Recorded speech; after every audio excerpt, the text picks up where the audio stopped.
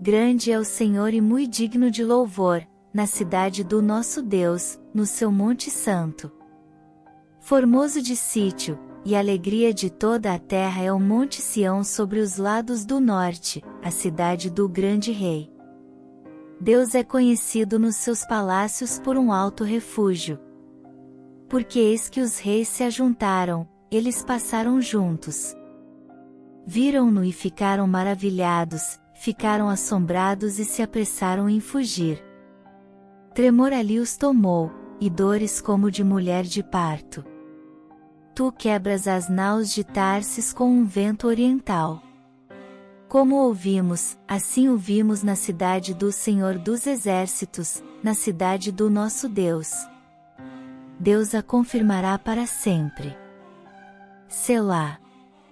Lembramo-nos, ó Deus, da tua benignidade, no meio do teu templo.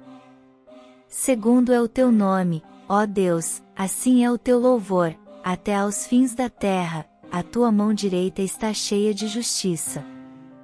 Alegre-se o monte de Sião, alegrem-se as filhas de Judá por causa dos teus juízos. Rodeai Sião, e cercai-a, contai as suas torres.